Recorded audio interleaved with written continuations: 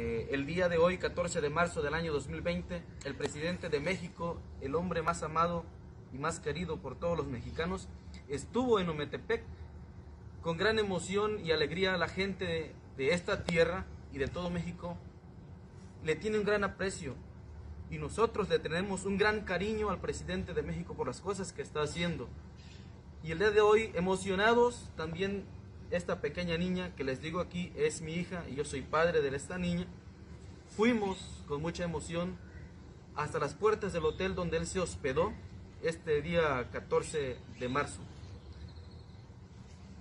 Y con mucha emoción fuimos a saludarlo y también mi hija fue a saludarla, a saludar al presidente.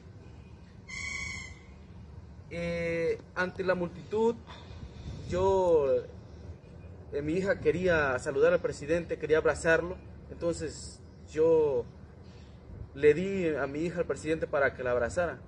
En esa fotografía se aprecia una cara eh, indiferente a la alegría, pero quiero decirles que esa cara es por la multitud que había, por ella sintió un poco de nerviosismo, entonces, pero ella estaba muy contenta.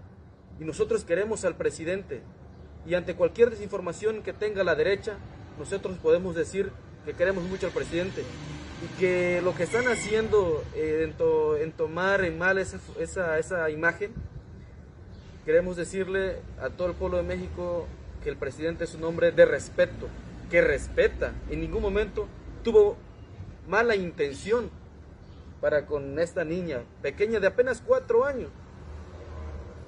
Esa gente que se dedica a difamar al presidente, a tratar de, de desprestigiar por el gran trabajo que está haciendo en todo México.